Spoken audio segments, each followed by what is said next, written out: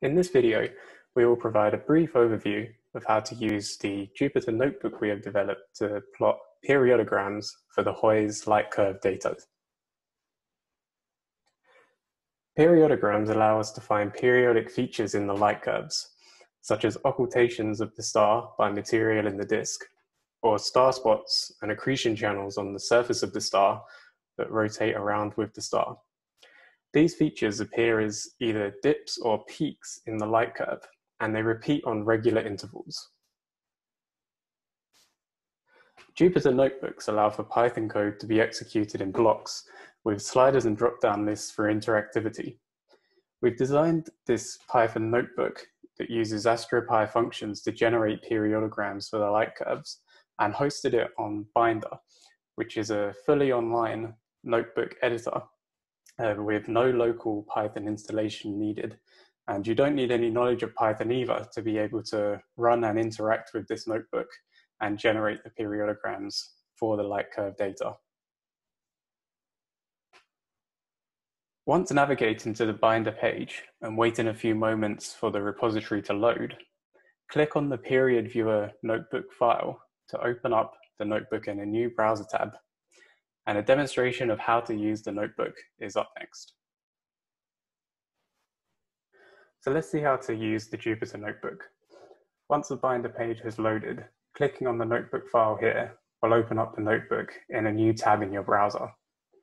And all of the Python code is executed on the online server, and the notebook is fully editable. Uh, there are three types of block within the notebook.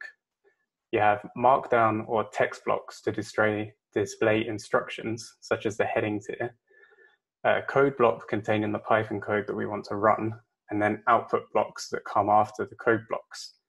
So to actually run the Python code, you select the code block that you want and hit Shift and Enter on your keyboard, or alternatively, you can hit the Run button here, and you'll see that there's a little star next to the block there that indicates that this block is running. So this first block tells the Binder server to install the Python modules that we need to run the code. And this needs to be done the first time that you uh, launch the notebook from the Binder server.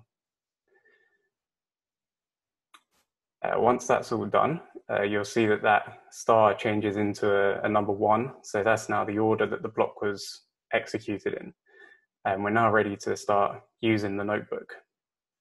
So if we run this next block, uh, you'll see that this one executes a lot quicker and you then have a drop-down file underneath.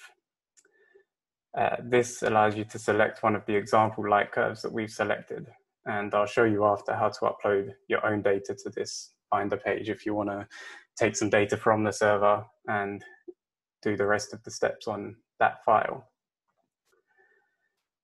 So we've designed the notebook so that any selections you need to make are done through these widgets and you don't have to edit the Python code within the blocks. So having selected this example file and run the next code block, uh, we see that we're presented with a table which shows all of the data from the CSV file that we've loaded in. So here are the columns that were contained within that CSV file. This next block has some uh, selections for the data itself. So we can select the photometric filter we wish to investigate. And we can also refine the data slightly by selecting the date, uh, calibrated error limit, and a median filter window. So that's slightly smoothing the data. Uh, so you can leave all of those as the default for now. And if we run the next two blocks,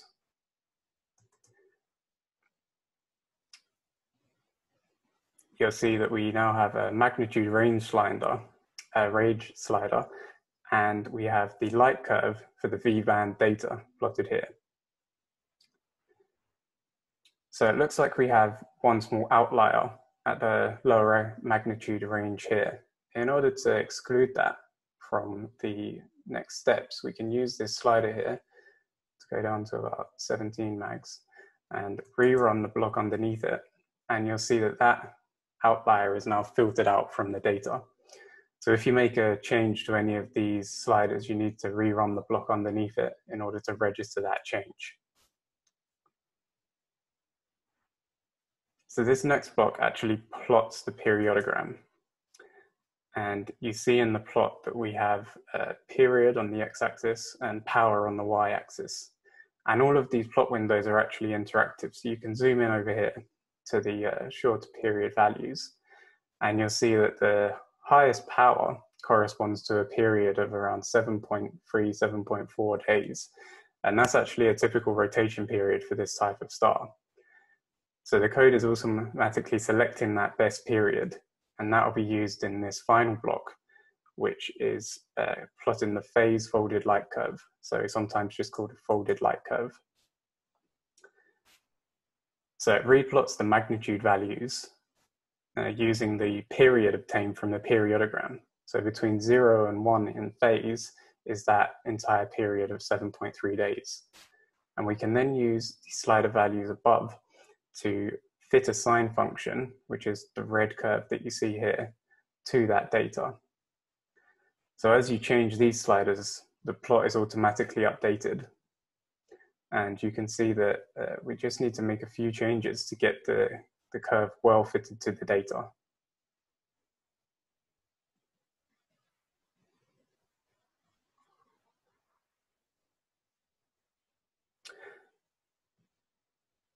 So you can see with a, a few clicks, we've ended up with a, a well-fitted sine function to the data. So this allows us to both visualize and quantify the periodic feature that we've seen in this light curve data.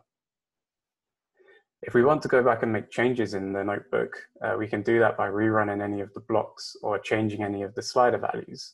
So for example, if we wanted to pick the I-band data, we can select that here. And then if we rerun the blocks underneath, you'll see that the light curve has changed and we now have the I-band photometric data and we can rerun the next steps and investigate different periods and different filters of the data. So we haven't explained much of the actual Python that goes into producing these plots and investigating the data. We wanted to keep this more brief onto how to actually use the data and hope that you have a look at it yourself and, and try different selections and find some interesting features in the data. Um, if you'd like a deeper explanation on how the Python works, uh, please feel free to let us know and it could be arranged. And we also plan on making some more Python notebooks available for different kinds of exploration of the HOYS data. So if you have any, any suggestions for that, please also let us know. So you saw in the demonstration that we've provided five light curve files for you to have a look at in the example notebook.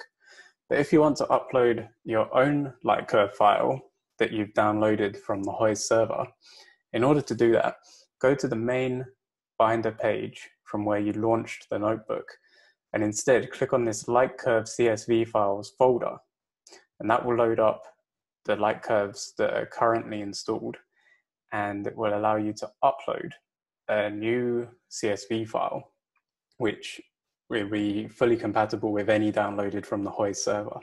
So this might be data you've taken yourself, uh, a particularly interesting object that you're curious about, or data that you've obtained from the LCO collaboration.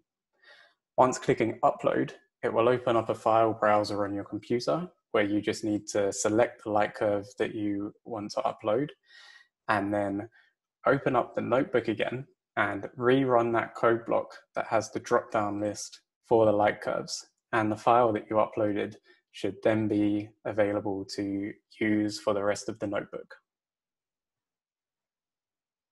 If you have any questions, uh, comments or suggestions for using that notebook, please get in touch. And in future videos, we'll be further explaining how we interpret that light curve and the folded light curves. And we also have some science explained videos coming up where we'll talk about young stellar objects and their variability. Thank you for watching.